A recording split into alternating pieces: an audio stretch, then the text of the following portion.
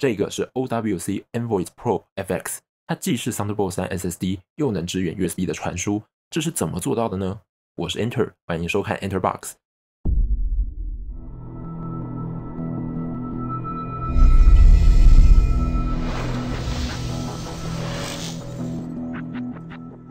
这个 SSD 我测试了好几个月，测试的范围也非常的广，前前后后我大概用了五六台电脑在做测试。希望你可以看完整部影片，订阅我们的频道。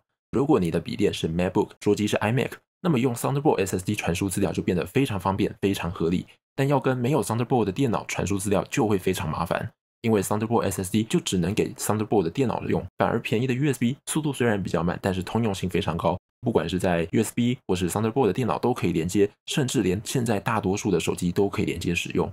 前几年我就有耳闻，其实有 Thunderbolt 和 USB 混合的方案，但是我就一直没有看到有厂商推出来。直到 OWC 推出这一颗 Envoy Pro FX，它同时具备了 Thunderbolt 3和 USB 3.2 Gen 2十 G 的传输能力，这就很方便了。如果是具备 Thunderbolt 3、Thunderbolt 4的电脑，不管是 Windows 还是 Mac 电脑，都可以直接用 Thunderbolt 3的速度传输。那如果电脑只有 USB，也可以用 USB 连接，是不是很厉害呢？那我们就看一下实际的跑分速度。在 Mac 支援 Thunderbolt 的实测速度如下：写入大概是一千四到一千五百 mega，读取大概是两千七百到两千八百 mega。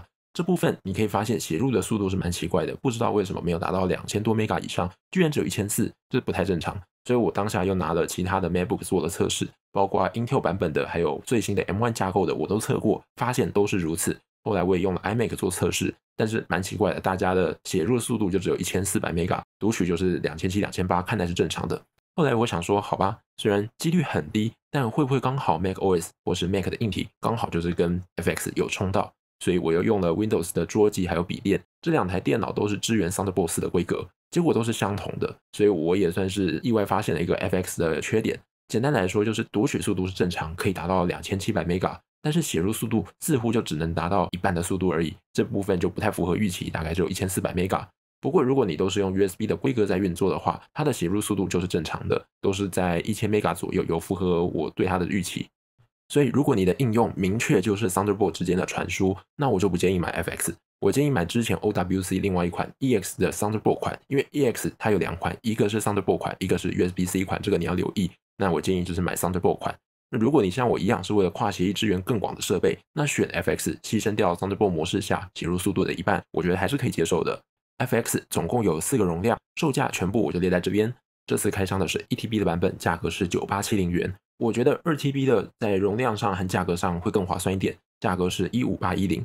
那这个价格其实比 OWC 更早前推出的 Envoy Pro EX Thunderbolt 的版本还要便宜一点。这是蛮令我惊讶的，毕竟它比较便宜，但是上面它有 USB 还有 Thunderbolt 的晶片，照理来讲它应该比较贵。然后他们用的 SSD 又都完全一样，所以当 FX 的价格居然更便宜的时候，我说哦，诶，它居然比较便宜，那么哪一个来试试看好了？那另外一个我觉得蛮贴心的就是 FX 随附的 Thunderbolt 三线，其中一端它是有外挂一个 USB-C 转 USB-A 的转接头，这样遇到只有 USB-A 的电脑就不用担心忘记带转接头的状况了，它可以确保你在任何 USB-A、USB-C 的电脑上面都可以正常运作。这边整理了一个表格，帮大家更详细的整理出各种接法它会跑的协议。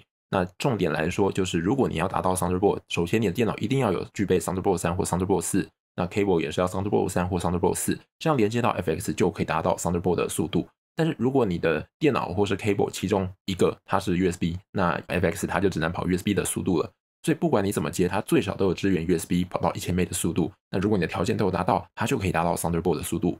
我想，如果是没有接触过 Thunderbolt 的朋友，可能会很疑惑：诶，那 Thunderbolt 四可以使用吗？Mac M1 可以使用吗？iPad 可以用吗？好，那我们一个一个来回答。首先，我有测试过，在 Intel 版本的 iMac 和 MacBook 都是可以正常使用的。那 M1 我们目前有测过 MacBook Air 也是可以正常使用。在 Windows 方面呢，这边有两套机器，一套是桌机我们自己装的，那主机板是 ASRock 的 Z590 太极，那另外一款是 ASUS 的 TUF Dash F15 这台电竞笔电，这些都是可以使用的。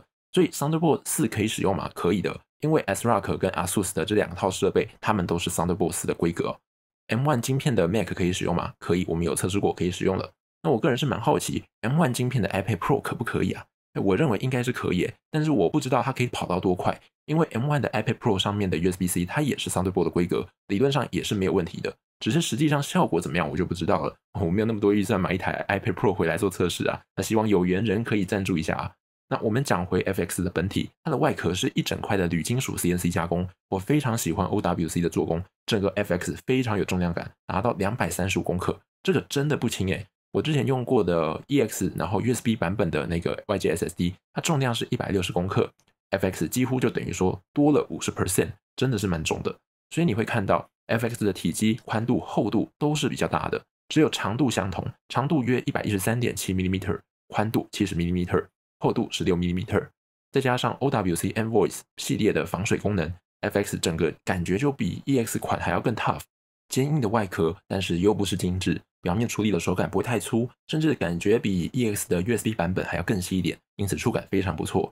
外观以深灰色为主，顶面有 OWC 的 logo，底部有条纹状的设计，盲拿的时候就比较不会跟另外一颗 EX USB-C 的版本搞错。不过我个人是比较喜欢 EX 上面没有 OWC logo 的设计，感觉更加纯粹，更更加有科技感。那如果下一代可以选择的话，我希望 OWC 可以不要把 logo 大大的印在上面。接着进入拆解环节，第一步翻到底部，将两条有双面胶的指滑脚垫撕起来。第二步卸下四周的四颗螺丝。第三步揭起底部的盖子。第三步到这边就可以看到 SSD 了，使用的是自家的 Oro P 十二 Pro ETB，这是一条 PCIe 卷三百 Fold 的 SSD。那如果你是进阶玩家，对 SSD 的颗粒主控方案有兴趣，可以看我之后的文章发布。第四步卸下主板周围的四颗螺丝，就可以把主板拿起来了。这边可以看到，Thunderbolt 的晶片是在背面靠近外接盒顶部的地方。不过，我个人是觉得这个晶片在长时间的使用下发热量是比较可观的。因此，在前几次的速度测试之后，我就自己拿了导热贴片，让晶片可以跟顶部来接触，来帮助散热。它的 Thunderbolt 的晶片使用的是 Intel 的 JHL 七四四零，USB 规格部分使用的是 Realtek 的 RTL 九二一零这颗晶片。也就是因为板子上同时有 USB 还有 Thunderbolt 的晶片，所以呢，它就可以达到既可以连接 USB 又可以支援 Thunderbolt 的效果。顺便讲一下，我现在都怎么用这一颗 FX SSD。我现在里面主要就是放 Windows 还有 Mac 的跑分软体、监控软体，还有各个作业系统的 ISO、DMG 等等，然后存放一些测完的测试数据的截图啊，还有一些档案。那在 Mac 上基本上是没差啦，反正都是 Thunderbolt 的，主要还是针对 Windows，因为有时候还是会遇到没有 Thunderbolt 的笔电或者是桌机嘛。那不管我遇到的笔电还是主机板有 Thunderbolt 还是没有 Thunderbolt，我都可以正常使用。主机有支援 Thunderbolt 的话，我就可以用两千七百 Mega 的速度复制这些测试软体到新电脑。那我记得那一包测试软体好像几十 GB 哦，所以这样还是会快蛮多的。那如果电脑只有 USB，我也可以用一千 M 的速度来传输。而跑分软体跑完之后，我们会截图，还有一些数据的保存。那这些容量大概通常在一百 Mega 左右而已。所以不管是用 Thunderbolt 还是用呃 USB。这个量对这样的传输速度来讲，真是微乎其微了，根本是可以说是感受不到。所以我完美的利用了这个 FX 它的长处还有短处，把它放在一个极少写入需求的地方，但是经常需要大量资料读取出来的应用场景。大家可以看之前有三部影片，是我在评测三颗 Intel 的第十一代处理器，还有四张主机板。那三部影片就是靠这颗 SSD 作为资料传输的媒介还有备份的。那谁适合买这个产品呢？如前面所说，如果你只是要单纯的 Thunderbolt 传输，我比较建议你买 OWC Envoy Pro EX Thunderbolt 款，那它的写入速度会比较稳定。那如果你只要 USB 的话，就买同样系列的 EX，但是是 USB-C 的版本的。那如果你有经常需要跨协议的传输，需要在旧电脑、新电脑有 Thunderbolt 没有 Thunderbolt 之间传输的话，而且你也有大量的资料传输需求，那我就非常推荐你买这一款 Envoy Pro FX 的 SSD。今天的评测就到这里啦，这些是我测试两三个月下来的内容哦。邀请您按赞、订阅、分享 Enter Box，我是 Enter，我们下期再会。